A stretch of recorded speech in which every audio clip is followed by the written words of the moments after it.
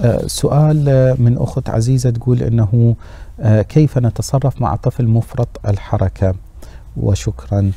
طبعا مثل ما أنا دائما أنوه أنا مو أخصائي أطفال لكن يعني في الدول اللي نعمل بها أنه إذا إذا شخصنا الطفل صار عنده فرط الحركة وتشتت الانتباه من أول الأشياء اللي لازم نسويها هو نوفر لل, لل أولياء الأمور أو الأب أو الأم والمدرسة معلومات عن كيفية التصرف مع الطفل المصاب بفرط الحركة. آه، هذا يسمى بال parenting training آه، يعني تدريب الآباء على التعامل مع هاي السلوكيات اللي تصير عند الأطفال.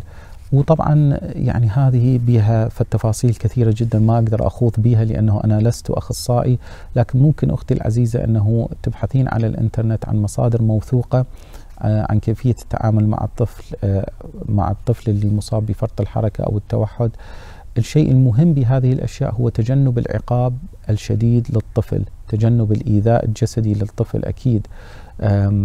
وأنه محاولة فهم آه، يعني التصرف اللي دي يتصرف به وليش دي يتصرف ومحاولة أنه التكلم معه بهدوء وأنه آه، تكافئيه لما يكون جيد وأنه لما يكون غير جيد تسحبين منه بعض الامتيازات بدون اللجوء إلى آه، يعني العقاب الشديد.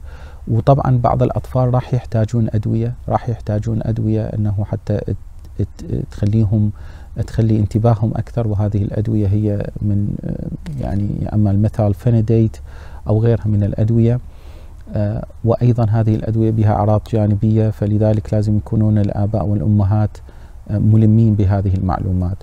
فمثل ما قلت أختي العزيزة ابحثي عن الإنترنت عن مصادر موثوقة وإذا كانت الأعراض شديدة يجب أن يكون تحت إشراف مختص بهذه الحالات على مود يوفر لك معلومات أكثر عن هذه المسألة.